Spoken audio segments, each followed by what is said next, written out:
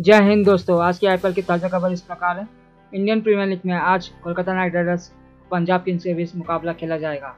ये तिरपनवा मुकाबला होगा। कोलकाता के ईडन गार्डन स्टेडियम में शाम साढ़े सात बजे से मैच चालू होगा। कोलकाता और पंजाब इस सीज़न में दूसरी बार भिड़ेगी। इससे पहले सीज़न के दूसरे मैच मैच में दोनों का सामना हुआ था। तब पंजाब को डगवर्ट ल्यूस नियम के तहत सात रन से जीत मिली थी।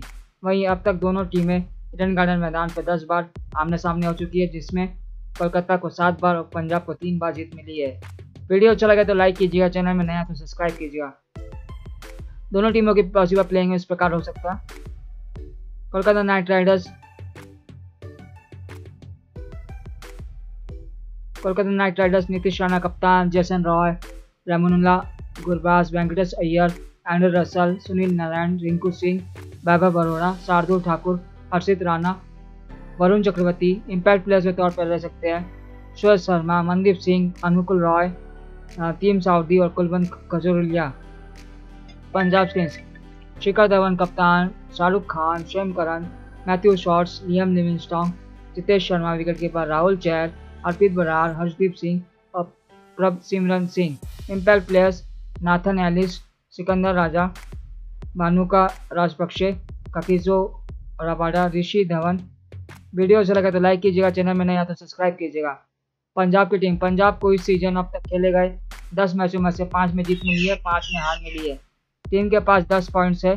कोलकाता के खिलाफ टीम के चार विदेशी खिलाड़ी Sam Curran Matthew Shorts Liam Livingstone और कागेश्वर रवाडा हो सकते हैं। इनके अलावा शिखर धवन, जितेश शर्मा, सुदीप सिंह जैसे खिलाड़ी दमदार खेल रहे हैं। कोलकाता की टीम कोलकाता को इस सीज़न अब तक खेले गए।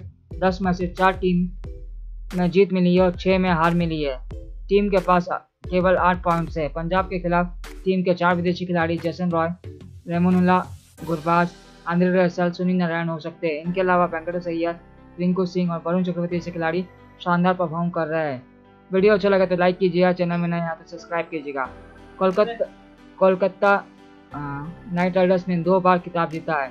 वहीं पंजाब को अब तक सफलता नहीं मिली है। ओवरऑल एट टू एट की बात करें तो दोनों टीमें इकतीस बार आमने सामने हुई है, जिनमें से कोलकाता को 20 और पंजाब को 11 बार जीत मिली है। पिच रिपोर्ट गार्डन स्टेडियम की पिच तेज मानी जाती है। इस पिच की मदद मिलती है, स्पिनर्स को मदद मिलती है।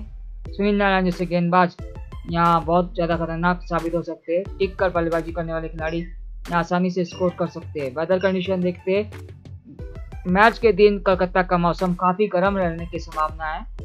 कोलकाता में सोमवार का टेम्परेचर 28 से 40 डिग्री के बीच रह सकता है। वीडियो अच्छा अच्छा लगे तो लाइक कीजिए, चैनल में नया सब्सक्राइब कीजिए। धन्यवाद दोस्तों, मिलते हैं अगले वीडियो में। जय हिंद।